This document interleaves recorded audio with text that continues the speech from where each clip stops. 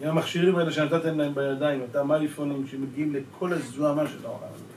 עם אותם סרטים נוראים שיש בטלוויזיה, היום טלוויזיה זה כבר נהיה לחסידים ואנשי מעשה.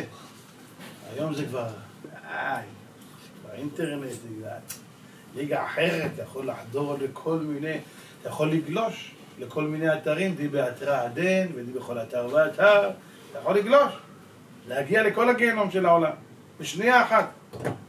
אתה טוב, ואתה בגיהנום. מה יעשה הילד הולך, אתה תגידו לי. אתמול, תשמעו סיפור מזעזע. אתמול מתקשר אליי מישהו, אומר לי, הרב, הילדים שלי לומדים בבית ספר דתי. ילדים טובים, ילדים שקטים, ילדים עדינים, יראת שמיים, דרך ארץ. נפגשו עם בני דודים שלהם. הם חוזרים הביתה והם שואלים את אשתי, אמא, הם סיפרו לנו שככה עושים ילדים, זה נכון?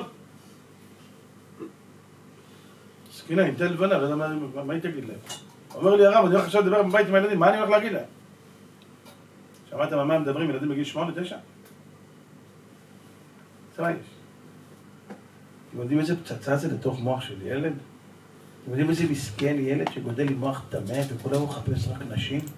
אתם יודעים איזה כיף זה לראות ילד שעד גיל 20 לא יודע כלום מהחיים שלו, כולו קדושה וטהרה? הוא לא יודע מה זה נשים, הוא לא יודע מה זה חשיש, הוא לא יודע מה זה בקשיש, הוא לא יודע כלום. חוץ מלימוד תורה ויראת שמיים ואהבת השם ותפילה ודבקות, זהו זה. בוא'נה, זה חי בגן עדן.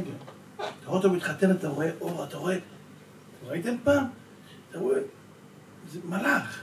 אתה רואה את ההוא בגיל 13?